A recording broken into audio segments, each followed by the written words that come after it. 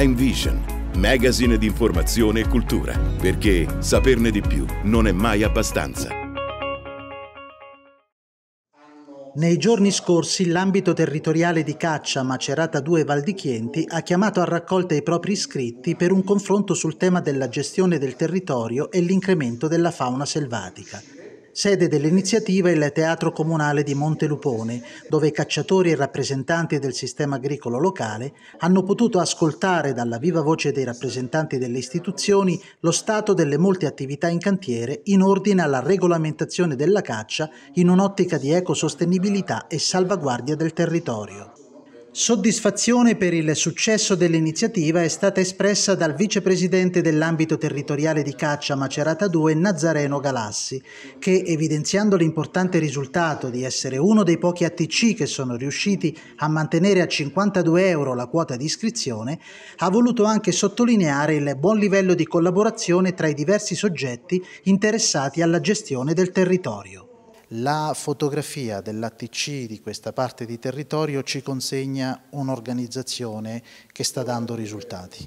Sicuramente c'è un'ampia collaborazione con tutti i soggetti interessati alla gestione, dalla Polizia Provinciale in primis che collabora sempre con noi per i piani di controllo, gli operatori che poi fanno la loro parte, per cui con questo siamo riusciti a diminuire i danni fatti da piccione, dal cinghiale e per cui siamo riusciti ad avere un bilancio inattivo e siamo riusciti a mantenere una codescrizione consona. In un'ottica ecosostenibile, quale contributo può dare oggi il cacciatore? Ma sicuramente sui piani di controllo. Noi abbiamo delle specie sia opportuniste o altre specie come il cinghiale che sono in aumento esponenziale, per cui fare dei piani di controllo farli a livello pubblico sarebbe un costo insostenibile, farlo invece con gli operatori che lo fanno in modo volontario e gratuito ci permette come sia di abbassare i costi e di dare una risposta seria agli agricoltori che hanno dei danni effettivi. Voi oggi parlate di gestione del territorio e di incremento sostenibile della fauna. In che cosa consiste questa sostenibilità? Quella che sta nel giusto equilibrio, per cui sia della fauna stanziale sia la fauna migratoria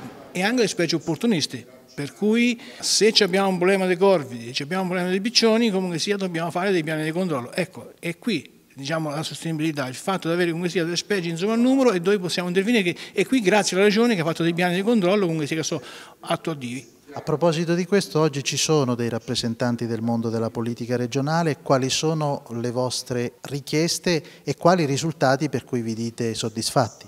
Sicuramente stiamo lavorando a una modifica regionale. La Regione è partecipe, per cui vuole modificare la regionale su certi aspetti, noi diamo il nostro contributo e poi il calendario natorio. Il calendario natorio dovrà uscire a breve, per cui stiamo lavorando anche insieme alla Regione per avere un calendario natorio cioè che sia effettivamente un calendario natorio nel rispetto delle norme.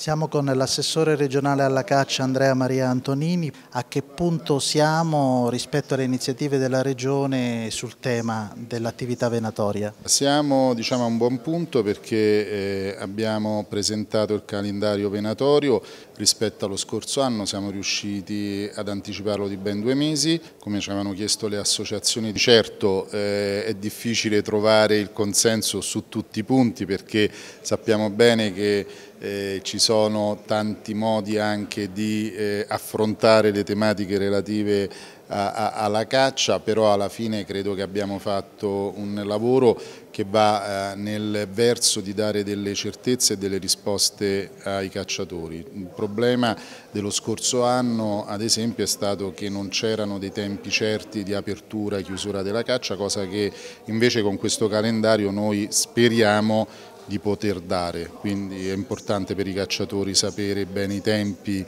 della caccia. In cantiere c'è una legge concernente la regolamentazione della caccia, che cosa si sta facendo e in che direzione soprattutto ci si sta muovendo? La stiamo riformulando, ci sono alcuni cambiamenti perché è giusto ogni tanto mettere delle piccole anche novità rispetto ai contesti che cambiano. No?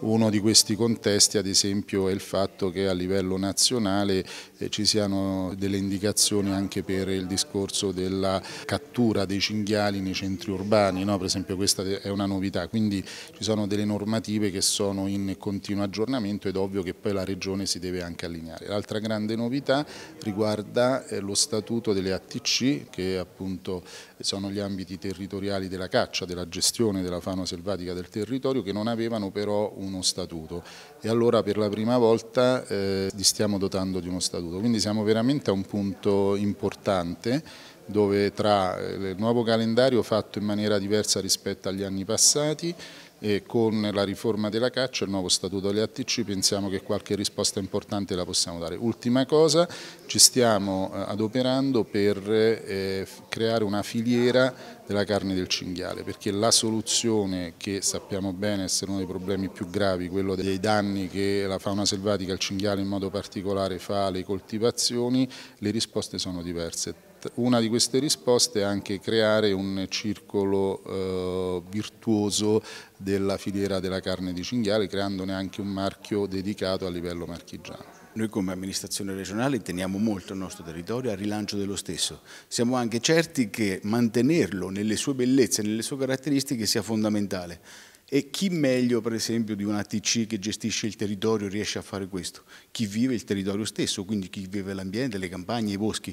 Quindi siamo noi per primi a credere in questo tipo di iniziative. Il calendario venatorio è sicuramente una parte essenziale per il controllo del nostro territorio, anche perché, come deve essere fatto, il calendario stesso è stato condiviso e discusso insieme alle associazioni venatorie e anche ambientaliste, quindi siamo riusciti a fare una cernita di tutte le opportunità e le necessità di tutto il territorio, per cui siamo riusciti a fare il giusto compromesso fra le necessità dell'ambientalismo e di una caccia sostenibile. In un'ottica di miglioramento dell'ecosostenibilità, come si possono armonizzare le istanze del mondo dell'ambientalismo con quelle dei cacciatori? Ma guardi che sono istanze che vanno di pari passo nella stessa direzione. I primi ambientalisti sono i cacciatori e gli ambientalisti stessi tendono a fare il controllo dei cacciatori stessi, quindi è un sistema che si equilibra da solo e dà il risultato preciso di mantenere il territorio per il bello che abbiamo intorno. Siamo con il sindaco di Montelupone, Rolando Pecora, al quale chiediamo qual è il rapporto che si è venuto via via instaurando con eh, l'ATC di riferimento di questo territorio. Il rapporto è ottimo perché testimonio appunto la collaborazione che c'è nel controllo, nell'intervento sul mantenimento del nostro territorio. Noi abbiamo per le fonti storiche, abbiamo piste ciclabili che riusciamo a mantenere e a, tenere in ottimo stato anche grazie proprio alla collaborazione dei membri di questa associazione che volontaristicamente collaborano con noi per la manutenzione del territorio. Quali sono oggi i principali problemi dei piccoli comuni di carattere ambientale, diciamo così, superati i quali si potrebbe guardare al futuro con più ottimismo? I problemi sono quelli specifici di ogni zona. Nel caso nostro noi abbiamo i problemi legati al fiume Potenza e alla rete idrica afferente al fiume Potenza e questo è al centro dell'interesse di noi sindaci. Nello specifico a Montelupone abbiamo un problema di territorio importantissimo che è un problema storico, il problema della frana, che eh, è stata contrastata da interventi importanti negli anni che devono essere mantenuti. Quindi l'attenzione e la cura del territorio sono per noi una priorità assoluta. I cacciatori danno una mano enorme nella manutenzione del territorio. Se non ci fossero loro noi saremmo in difficoltà con i nostri pochi mezzi, poche forze lavoro che i piccoli comuni hanno a, a, a portare avanti questo obiettivo.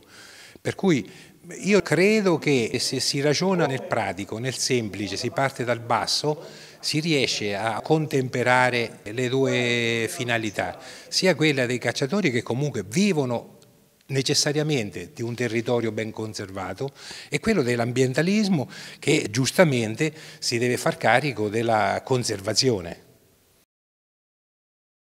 Envision, magazine di informazione e cultura, perché saperne di più non è mai abbastanza.